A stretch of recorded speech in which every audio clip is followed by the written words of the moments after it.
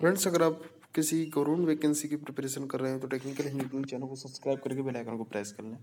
Friends railway board पर दबाव बना रिज़ल्ट होगा द्वारा जारी। जी हाँ friends railway group D result को लेकर छात्राओं मचा हुआ। जी हाँ फ्रेंड्स देखिएगा रेलवे ग्रुप टी रिज़ल्ट यहाँ पर जो है रेलवे बोर्ड पर बहुत बड़ा दबाव बन रहा है, क्योंकि देखिए जगह जगह धरने भी दिए जा रहे हैं। और मैं आपको बता दूँ, इससे पहले कहना चाहूँगा कि देखिए मैंने पीछे वीडियो बनाई थी और उसमें जो है कुछ कैंडिडेटों ने इस चीज़ का जवाब दिया कि जो है नॉर्मलाइजेशन के बाद जो मैक्सिमम नंबर होते हैं उससे नॉर्मलाइजेशन से बढ़ जाते हैं नंबर यानी कि उनका कहने का मतलब ये था कि अगर सौ नंबर का पेपर है,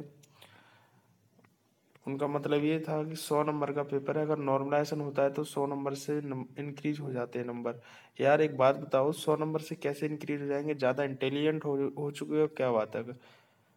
अगर ज़्यादा इंटेलिजेंट हो तो तुम्हारा रेलवे में नंबर ही नहीं आ जाता। इतनी बातें क्यों करते हो? ज़्यादा कि मतलब सौ नंबर का जो रिज़ल्ट है, ठीक है? अब मैक्सिमम मार्क्स से तो जो नंबर से जितने मैक्सिमम उससे ऊपर थोड़ी चला जाएगा नॉर्मलाइजेशन में नंबर तो ठीक है फ्रेंड जो कमेंट्स कर रहे थे, उनके लिए मैं बता दूँ ऊपर नंबर नहीं जाते नॉर्मलाइजेशन से लेकर। ठीक है तो यहाँ पर फ्रेंड्स मैं आपको बताने वाला हूँ रेलवे ग्रुप डी के रिज़ल्ट को लेकर बोर्ड पर बना दबाव। तो फ्रेंड्स आप देख सकते हैं छात्र छात्राओं में बहुत बड़ा बवाल मच चुका है। यहाँ पर छात्र छात्राओं का कहना है कि हमें जो है इंसाफ चाहिए।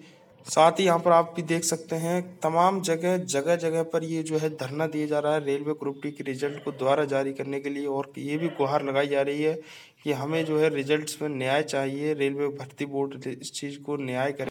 आप इस चीज़ को देख सकते हैं, यहाँ पर रेलवे ग्रुप डी पर जगह जगह धरने दिए जाने के कारण रेलवे बोर्ड पर इस चीज़ का दबाव बनता जा रहा है रेलवे बोर्ड, उम्मीद है रेलवे ग्रुप डी रिज़ल्ट जो है सुप्रीम कोर्ट में जाएगा और इसका रिज़ल्ट जो है जारी होगा द्वारा से। ऐसा लगता है रेलवे भर्ती बोर्ड, लेकिन रेलवे भर्ती बोर्ड ने ये गलत किया। जितने उम्मीदवार थे उनको इस चीज़ का जो है गलत प्रभाव पड़ेगा। ठीक है तो यहाँ पर जो है उम्मीद है लगाई रहिएगा। और रेल मंत्री पीयूष गोयल जी हैं, उनके ट्विटर हैंडल पर जाकर उन्हें ट्वीट कीजिएगा कि हमें इस चीज़ को न्याय दीजिएगा। ठीक है, यहाँ पर जो धांधलेबाजी हुई है रेलवे ग्रुप डी रिज़ल्ट को लेकर, उसमें जो है न्याय बहुत ही ज़रूरी है। तो फ़िलहाल फ्रेंड इतना था। आगे कोई अपडेट आएगा तो ज़रूर आपको बताया जाएगा।